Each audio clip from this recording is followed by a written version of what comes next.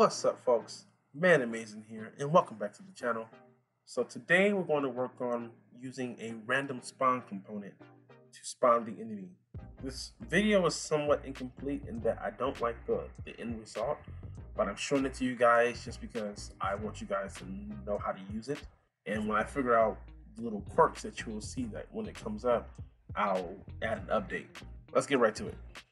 So the first thing we want to do is turn our AI agent into a slice. So right click, go to create slice. Uh, you might get a pop-up that says something references reference this entity. Click no, save your entity slice to whatever name that you want. Let's go ahead and create another entity. We'll call it AI spawner.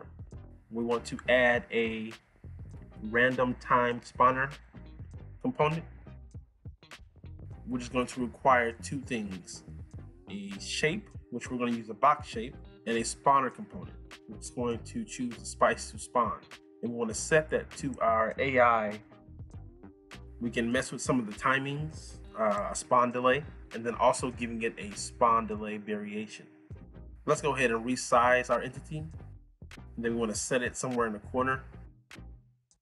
And once you hit play, you can see that our AI is randomly spawning. The problem is, is that it's really randomly spawning. So they're spawning all over the place, up, down, below the map. This can become a problem, for sure.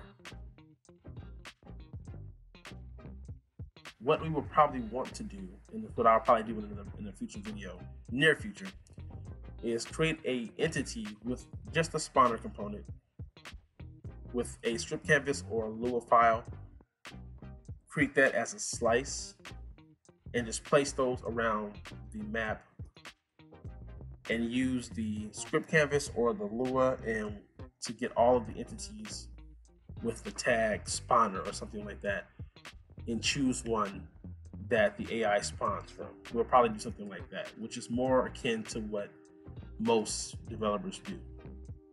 But if you did enjoy this video, go ahead and hit the thumbs up.